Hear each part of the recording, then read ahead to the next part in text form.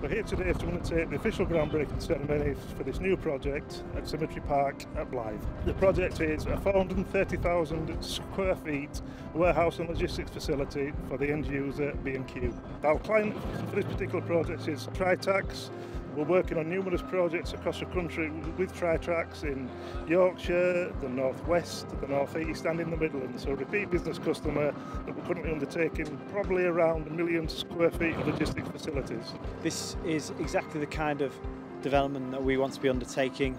It is a existing site that we've got within the Tritax Symmetry portfolio.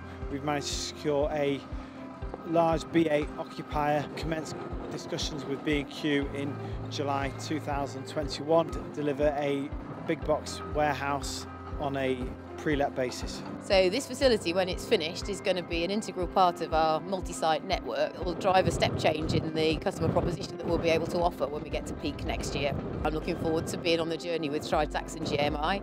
Um, it's always a bit bumpy getting the plans pulled together and all the approvals done, but now it's started, it's really starting to take shape.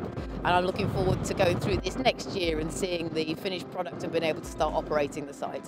We're really active in the sector. It's a really hot market at the moment. Uh, we're currently constructing probably in excess of 2 million square feet of these similar facilities across the country. They're really high volume, fast program opportunities that we that we've made a, a reputation for of being really successful in the in the GMI business over the past few years.